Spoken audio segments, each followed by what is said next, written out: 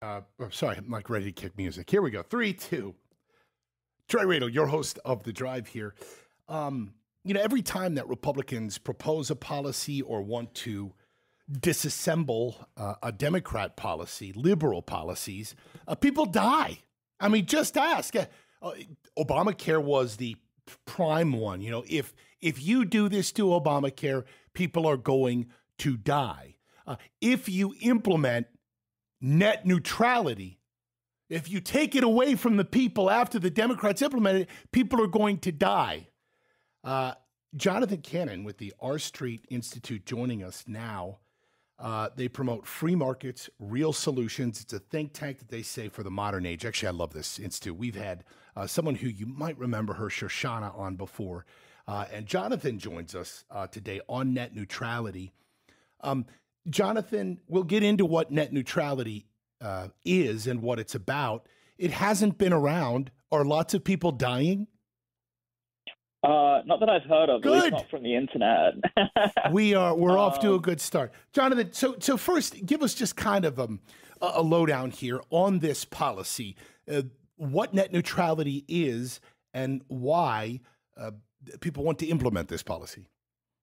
Yeah, so the, the term net neutrality came about uh, in the early 2000s um, by a guy called Tim Wu. Uh, basically, he had these bright line ideas of what you know the perfect internet ecosystem should be, and there were kind of these three big ideas: uh, blocking, throttling, and paid prioritization, which we do a deeper dive on. Um, but basically, these are things that internet providers should not be doing to its customers. Um, there was never any evidence that they were, or any sign that they should, or any incentive for them to do so. But he said that, that it should be uh, protected online. And in 2015, the Democrat led FCC implemented um, these rules uh, under Title II of the Communications Act to codify uh, those principles, along with a lot of other regulatory uh, barriers, to really make it a lot harder for uh, providers to help you know consumers get connected and benefit um, from the internet. So when the Republicans took the presidency and uh, the FCC, they worked tirelessly to unwind those regulations, um, which is, I think, the hysterics that you're alluding to, uh, where you had this incredible campaign of people saying that people would die, the internet wouldn't work anymore, uh, tweets would load one word at a time, uh, you'd have to pay to use Twitter um, you know, the, the craziest things. And, you know, it really reached a fever pitch to where the public officials and friends of mine who were working for the commission at the time uh, were receiving death threats. Um, I was personally evacuated from the FCC due to a bomb scare uh, when they were voting on it. And this, you know, this is you know, talking about bureaucratic regulation. We're not talking about any wow. fundamental change to society here. Um, well, so so a few things that that that that's insane what you just uh, laid out, and um, so so you so Jonathan, who's online with us right now uh, with R Street, was with the FCC and was there uh, when they removed net neutrality, as he just described, and you hear all the the as that's being removed, uh, disassembled in the bureaucratic state, uh, bomb threats and more. And uh, look, just this part is me opining. It has nothing to do with uh, R Street, which is not Republican or Democrat. Um, this to me is how both sides of the aisle, Republicans and Democrats, can be guilty of just scaring the absolute hell out of people. Uh, and and when every vote comes down to you're going to live or die, this is what happens. And Jonathan's laying this out. And, and again, Jonathan, the other part to this is how the power that the bureaucratic state in Washington, D.C. has now that, you know, it's like Congress has just abdicated responsibility after responsibility. They don't vote on major sort of infrastructure or policy type things anymore. And isn't this an example of the bureaucratic state making major changes just at a whim? Yeah, I mean, 100%. And the, the funny thing about this is that, you know, it was in 2015, it was in 2017, and nothing has changed today. It's yeah. an issue in search of a problem. Um, and, you know, th- there hasn't been an issue. It hasn't been an issue for years. And the fact that in 2023, you and I have to be talking about this again um, is frustrating in and of itself. um, you know, Congress could act to codify some of these bright line principles, which you know most of the carriers would be fine with, but instead they're using the you know the phrase net neutrality really as a means of applying this utility style regulation over broadband. And it, it's really two separate conversations. And I think that the concern that I have, and along with a lot of my other contemporaries, is the fallout and the aftermath of what these heavy regulations could have um, as far as the internet ecosystem. And no, I don't think anyone's going to die, and I don't think planes are going to fall out of the sky. But it is concerning to think about how far internet come and how resilient it was, uh, especially during the pandemic, when more of us were online than ever before. That we want to turn around and go back to this heavy-handed regulatory framework. Without a doubt. Jonathan Cannon on the line with us right now. You can follow on Twitter, by the way, at JML Cannon, C A N N O N.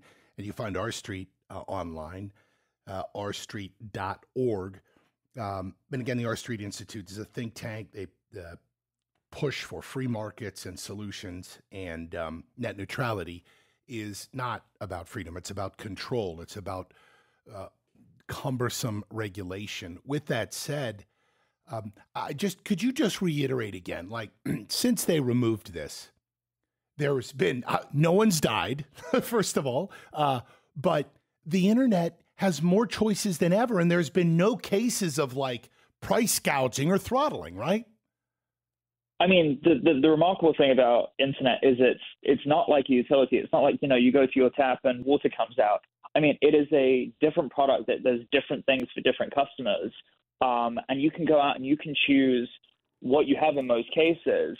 Um, and as you said, you know, the price of broadband, despite inflation, has gone down from what you're getting for your dollar. Um, very few other industries can say that, um, especially in our current economic climate um, speeds have increased a hundredfold year to year. It's unbelievable seeing how much the landscape has changed. Yet, instead of looking forwards at all the success we've had, people are clinging on to you know old things because that's what they you know it's the hill they've chosen they have to die on. Yep, yep. Uh, Jonathan, um, as we discuss this, uh, I'm totally going to put you on the spot here with a few things, uh, only because you're a friend of Shoshana, so I'm assuming you could take it. That accent of yours. What are you from Jersey? Are you from New uh, York? I'm I'm totally kidding, dude. I don't know if you thought say, I was. I, am I'm, I'm uh, a Londoner by birth, but I did uh, live in Florida for eight years. Did you? Um, and I, yeah. Uh, so uh, in Boca Raton, and then my uh, I went to undergrad at UCF.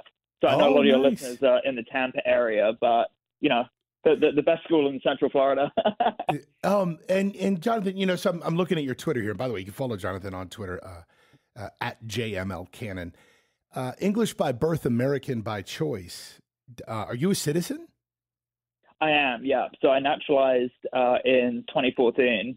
Um, to this day, still one of my proudest moments. Why? Why? Why did you do that? Um, had nothing better to do. No. um, my family and I came over, um, and you know, not that England is you know one of these dystopian hellscapes, but you know, even for someone growing up there, there's just this idea of American exceptionalism, and it you know it really reflects just the the culture and the approach to how we as a country do things and have always done things. That's just so appealing. And you know, not only did I move to the U.S., I now live in Washington. Um, and you know, I engage in policy issues like the ones we're talking about today, and it's just yeah, it's hard to escape from it because it's just you know it's so tantalizing to want to be part of the you know the great American experiment. Uh, that's awesome. Uh, I'm sorry to get personal on you, but uh, you, I, I no, love your answers. I'm, I'm, glad. Uh, uh, I'm glad that we did.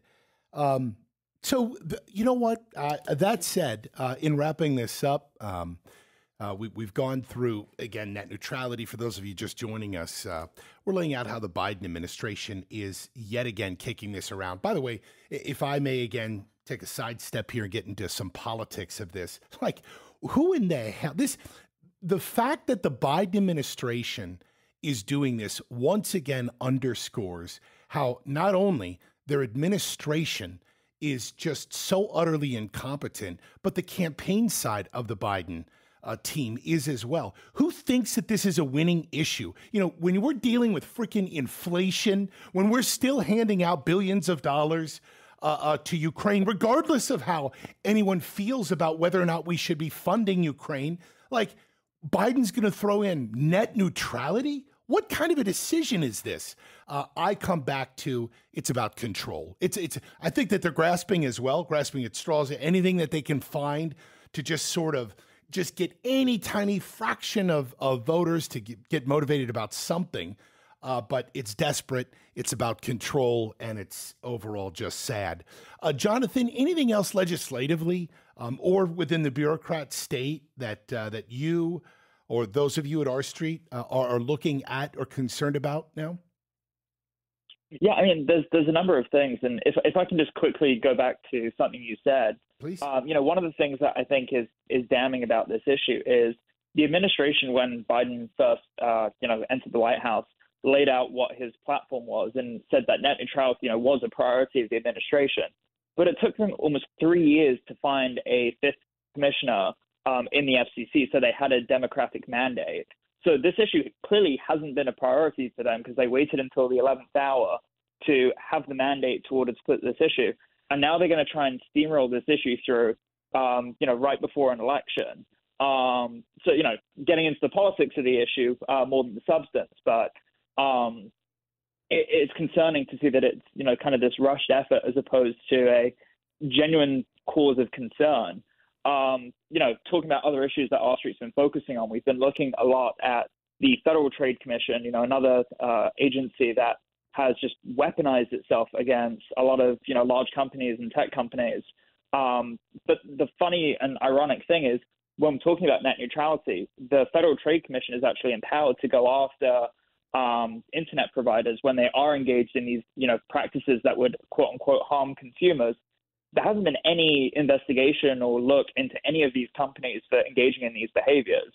So again, it's it's you know looking for problems and solutions and not getting anywhere. Um, and it's it's just a real shame to see because there are genuine, as you said, uh, problems, um, both you know in the tech front and otherwise. Yep, without a doubt. Uh, huge thank you, Jonathan. A real pleasure to have you on. I appreciate uh, the depth too of uh, you know underscoring everything that's happening what it means and uh, and and even kicking in uh, a little of the the political aspects of this. Again, you can find Jonathan uh, on Twitter at JML Cannon C A N N O N, and uh, R Street is a, a fantastic organization. Uh, we've had their their experts on for quite a few different issues, including occupational licensing and more. And uh, you can visit them at rstreet.org. Jonathan, thank you, bud. Till next time. Yeah, Trey, thank you so much. Take care. Thank you. I'm Trey Radel. This is The Drive. We'll be right back.